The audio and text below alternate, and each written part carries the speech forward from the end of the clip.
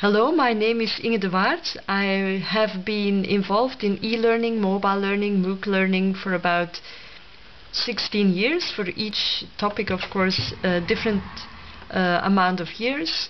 I have been working with uh, in communities for about 16 years each time changing depending on the topic. And I think I have um, loose as well as tight network of experts that I can talk to. Um, depending on the field I need to work on. Um,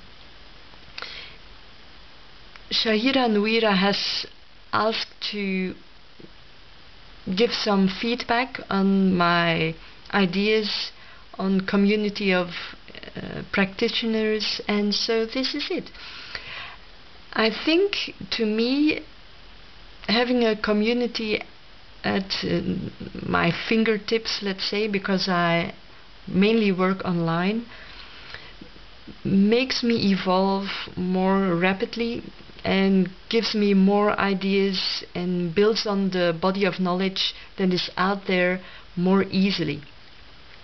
I have been um, working in e-learning for quite a long time by now and at a certain point I was the only one in my organization which actually had this e-learning expertise uh, which meant I needed to reach out to others. And so from then onward I've been expanding my network of experts or network of colleagues, of peers, of practitioners and depending on the focus of that moment in time, I also changed quite a bit uh, depending on my lifelong learning needs of that moment. For instance, uh, at a certain point I was deeply involved in mobile learning projects and at a certain time I wanted to shift or no not really shift but add massive open online course expertise to it as well so that meant that I built um, or increased my community of practitioners with people that had expertise or were willing to gain the expertise in MOOCs at that point in time. And so to me a community of practitioners is very organic. It can it changes constantly it changes constantly because the field that I work in is rapidly evolving. At some point in time, I was one of the uh, part of a team of pioneers in um, mobile apps, making building the first uh, iPhone Moodle app uh, out there, and then that was six, five or six years ago. And looking at it now, I mean, the apps have been booming, so it would be ludicrous to stay on top of the uh, application development if I wouldn't have a community of practitioners uh, at close range. Close range meaning um, online. now, why do I use my community of practitioners for my own lifelong learning purposes because of professional reasons, because of intellectual reasons, because I really want to know what's out there, what people are doing, how they engage with all the different technologies to increase either uh, their own expertise or the uh, educational or training expertise they need to teach others or support others or build uh, either training sessions or instructional design or pedagogical uh, structures or frameworks to well, just to keep at the edge of of a field like like uh, any rapid evolving uh, field which is I guess online learning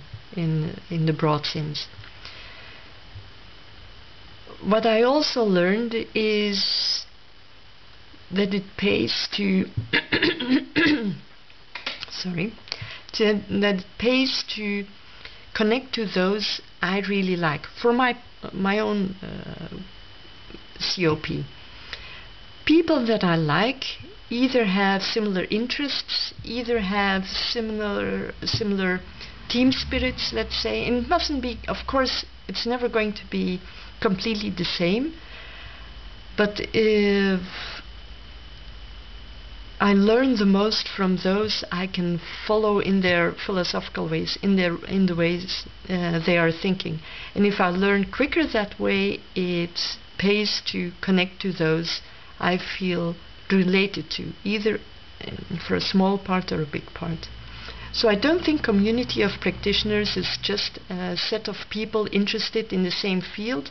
I feel there's a very high input, personal input in linking to those you like, you can connect to, you can understand. You can, uh, for instance, to me, participation is a big deal. So it would be strange to limit my community of practitioners to people that truly believe only in lecturing. Although, to me, there is, of course, a part understands the need for lecturing, but participatory uh, design will always feel like the way to go for me, for my um, the person I, that I am. So lifelong learning is also connecting to my own context, to, to my own personal preferences in terms of uh, personal traits, uh, philosophical angles, viewpoints, and I don't want to have them completely the same, but it helps to comprehend what others are saying. And uh, is there anything else that I can exchange? Um, I think that's that's the most important thing for me: the personal professional link, and the fact that we are in need of communities of practitioners of networks, personal professional networks, knowledge networks, just to stay on top of our field. Everything is constantly changing, ever so rapidly. So there is no way that I can just sit back, buy the books, read them, and think that I am on top of my game. The only way to stay on top is to talk to people who really are out there exploring the pioneering fields, exploring new options out there. Thank you. Bye.